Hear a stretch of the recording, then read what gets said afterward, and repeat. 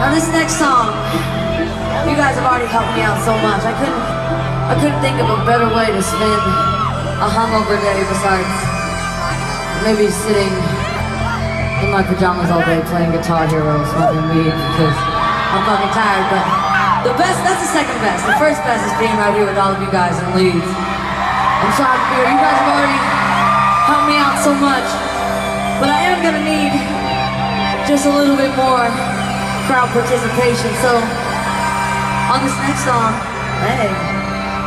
Now, uh, I have all these bras and underwear that are being thrown up here are a good sign of what's about to happen. So on this next song, I'm gonna need you guys to make out. There's no such thing as too much tongue on this tour. So, uh, girls, there's one of your girlfriends out here you wanna make out with. Straight people are welcome too. It's a little different than the show I did last night. But we do love, we do love when boys kiss boys and girls kiss girls here on the Vegas tour. But uh, all of y'all have a chance to be on this giant screen behind me. As long as you guys get real dirty now. I told y'all, you guys gotta prove me wrong, because a bunch of people told me that here in the UK everyone was gonna be too polite for this shit. But I don't believe y'all.